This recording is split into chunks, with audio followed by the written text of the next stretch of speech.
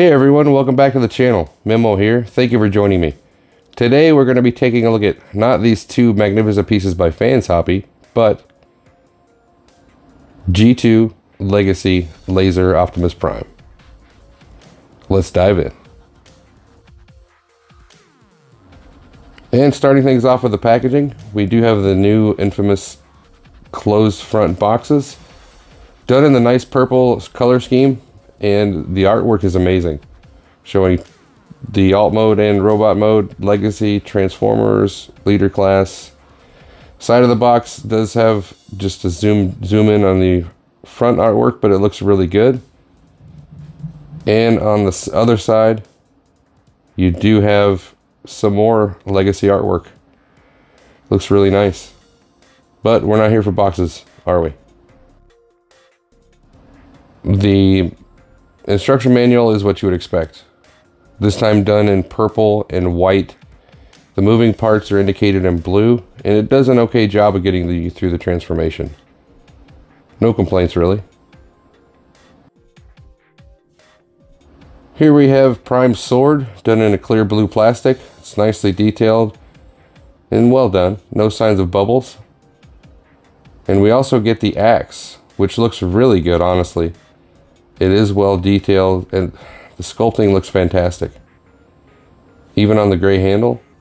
It does fold up for storage purposes. So that is a nice touch.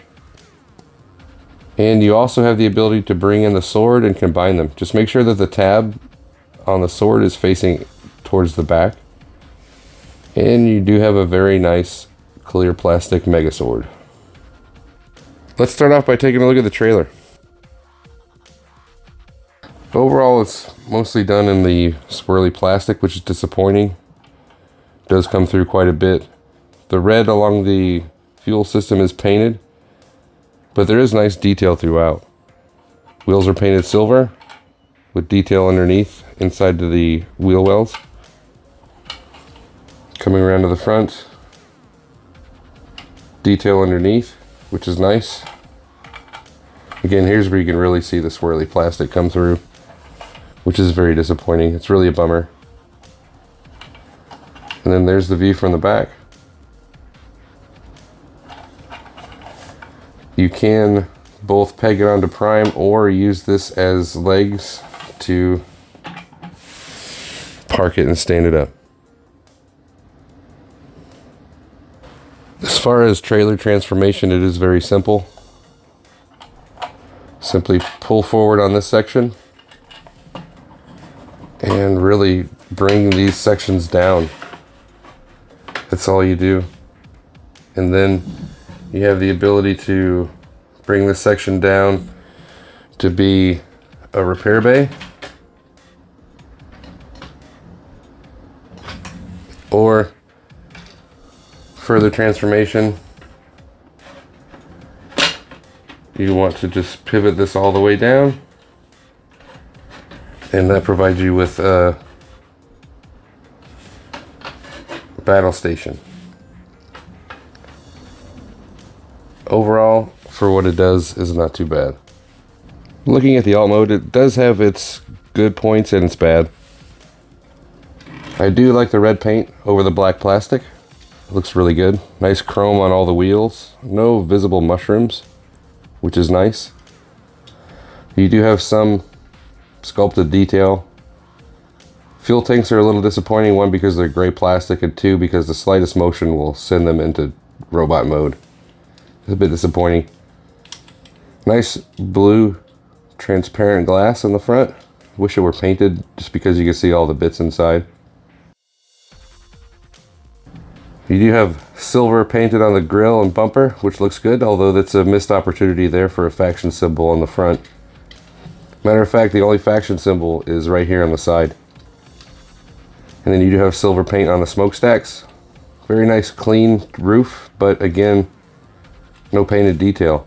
So it's hit and miss and yeah, there you see it's gone back into alt mode already. Overall, alt mode is okay.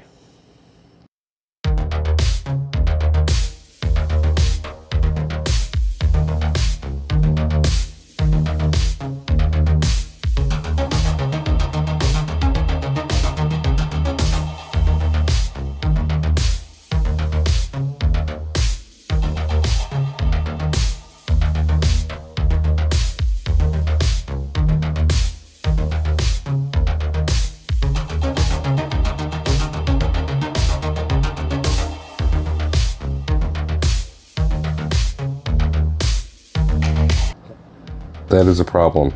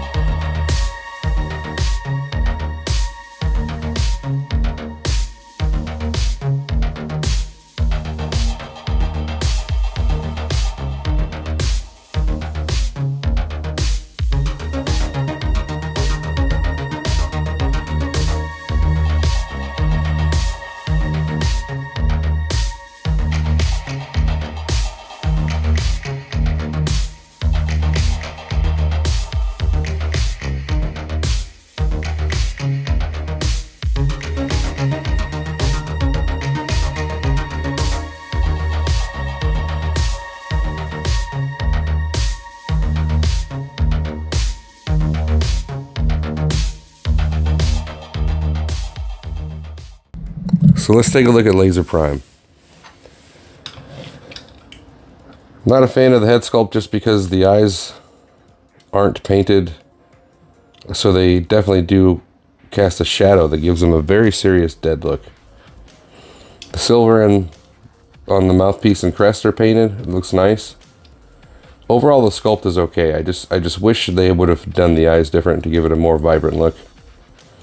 Red and black plastic going across the shoulders, coming to his high shoulder pads. Silver paint, and these do open to, to reveal clear plastic missiles. Yellow on gray, and these sections do move up and down, giving you a little bit more as far as articulation. Nice silver paint going across the chest, which does open up, revealing the matrix, which is painted with silver, copper, and clear blue plastic in the center. You do have some nice detail on the inside. Brings you down to the blue painted grill, which is odd because the, the grill is silver in alt mode, but oh well. Again, nicely detailed on the sides. More detail on gray plastic for the crotch and thighs. And then highly detailed lower legs done in black. They look okay. And blue for the feet. Does have a big old backpack, but that is typical for the character. A little bit of waffling on the back of the legs, but overall it's pretty clean far as articulation, the ball point on the head, or the ball joint on the head is extremely tight, so it's difficult to even twist. And literally no up and down at all. Shoulder pads can move around. Arms can go up to there, and this side does not want to lock in for me very well. But they can go up to 90 degrees. They would be able to do a full 360 rotation if the shoulder pad wasn't there. 90 degrees on the arm, elbow. Be careful with these because they do just simply like to, to come off very, very easily. It's disappointing. No articulation on the hands except for a spin. And that is very, very loose. Waist rotation, thighs or legs can kick all the way up, all the way back, and all the way to the side. Do have thigh rotation, more than 90 on the knee, and toes and heel can go up and down, or sorry, can go down, but not up. And you do have a rocker. So Sculpting and articulation are okay overall, but it's definitely not perfect. Now we can bring in his weapon.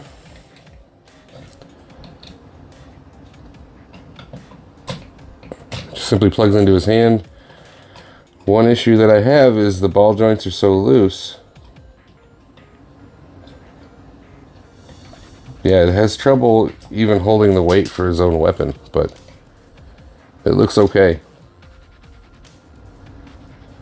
We can go ahead and separate these into the axe and the sword.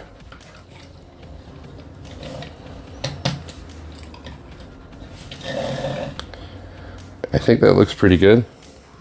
It's just disappointing that he didn't come with a gun. Here he is with Earthrise Prime. And you can notice the similarity in the legs. The only thing different is they remove these sections and replace them with a different detailed section. But the upper body is similar, but definitely a, heavy remold. And here he is with Legacy Blaster, just for comparison. What do I think of the Legacy G2 Laser Optimus Prime overall? He's okay.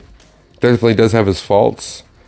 The joint inconsistencies is definitely a problem. The head not being able to rotate very well. The uh, arms wanting to come off their mushroom pegs and then the lower chest wanting to pop out. Those are definitely some troubling issues. They do simply pop back on, but it's still a pain in the butt. The hands not being able to really support the weight of the combined weapon as it's intended is disappointing. I mean, I realize that can be fixed with some kikis, but it still is a tolerance issue. Overall, the sculpting is very well done. The paint that is there looks fantastic. And it does really look like a G2 Laser Prime. So, is this a recommend from me? Uh, if you want the character, definitely. Uh, it's not a character that I'm emotionally attached to in any way, but I think that the mold is awesome. I really do enjoy the fans hobby versions of this and their Scourge. So I didn't have any issue picking this guy up. I did find mine at Walmart, so he is out there. So good luck on your hunts. If you haven't already, please like the video, subscribe to the channel, and get your bell on.